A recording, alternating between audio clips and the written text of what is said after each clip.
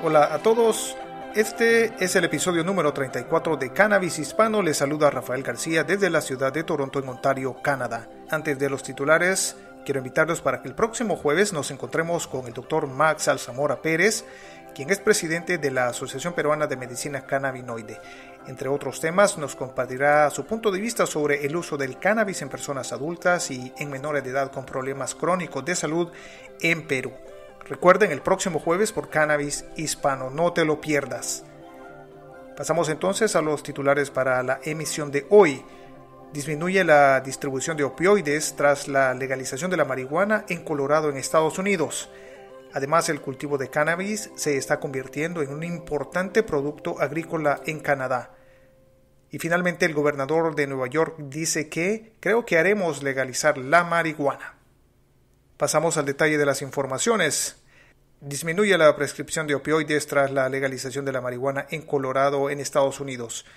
La legalización de la marihuana para uso en adultos en Colorado, Estados Unidos, se asoció con una reducción significativa en la distribución de opioides recetados, según datos publicados en el International Journal of Environmental Research in Public Health.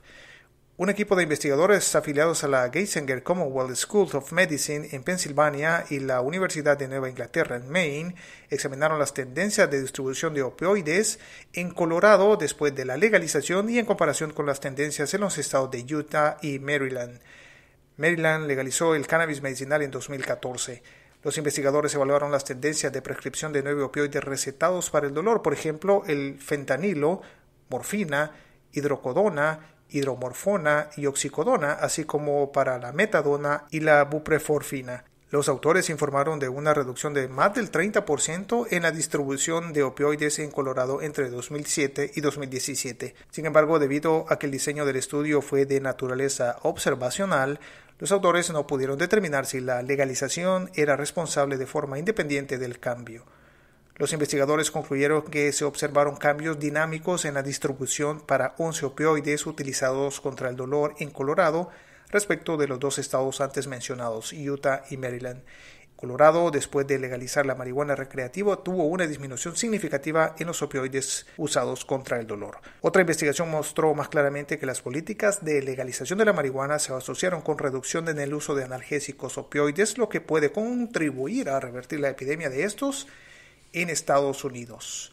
Y aquí en Canadá el cultivo de cannabis se está convirtiendo en un importante producto agrícola. El cannabis es ahora un importante cultivo comercial en Canadá de acuerdo a Estadísticas Canadá que reveló que este cultivo representó alrededor de 2.3 mil millones de dólares canadienses en ingresos en efectivo en 2019 frente a los 564 millones del año anterior. Los ingresos de las granjas de cannabis son ahora aproximadamente una cuarta parte de lo que los agricultores recibieron por la canola, la cosecha más grande del Canadá. Un informe de ePolitics dijo que las ventas de cannabis ayudaron a aumentar los ingresos netos obtenidos de los agricultores por primera vez en tres años. Sin embargo, ahora surge la preocupación de los defensores de la agricultura tradicional que sostienen que la marihuana debe eliminarse de ese rubro ya que la agricultura generalmente consiste en productos alimenticios y de fibra. Siempre en Canadá, Manitoba permitirá que cualquier persona solicite una licencia para la venta minorista de cannabis, dijo el ministro de Servicios de la provincia en un comunicado el viernes anterior. Los minoristas se limitarán a poseer no más del 15% de las tiendas independientes.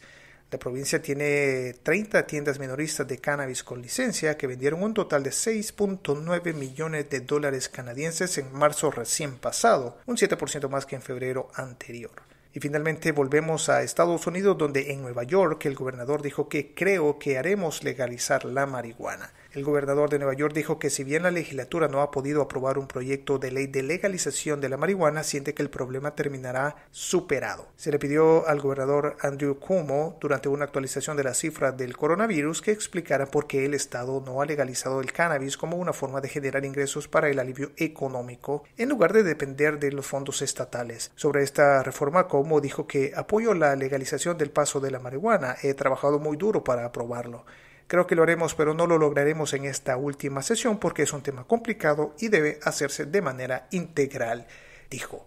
Amigos, no quiero retirarme sin antes invitarlos para que el próximo jueves nos reunamos en Cannabis Hispano para hablar con el doctor Max Alzamora Pérez. Él es presidente de la Asociación Peruana de Medicina Cannabinoide y cuenta en sus registros profesionales con al menos 800 pacientes tratados con cannabis. Entre otros temas, el doctor nos compartirá su punto de vista sobre el uso del cannabis en personas adultas y también menores de edad con problemas crónicos de salud en Perú. Recuerden amigos, el próximo jueves en Cannabis Hispano. Manténganse en casa y hasta la próxima. Si tienes algún comentario o sugerencia, puedes escribirme a cannabishispano.gmail.com o también puedes contactarte conmigo a través de Twitter en arroba cannabishispano. Es todo por el momento y recuerda, quédate en casa. Cannabis Hispano no promueve ni participa en actividades ilegales relacionadas con el uso o la venta de cannabis o sus derivados. Tampoco vende o intercambia cannabis por servicios. Este podcast opera dentro de las regulaciones de las leyes canadienses. Cualquier comentario sobre el uso del cannabis no debe tomarse como un consejo médico o una asesoría profesional en salud. Las personas que estén considerando usar cannabis, CBD o cualquier sustancia deben hablar primero con su médico.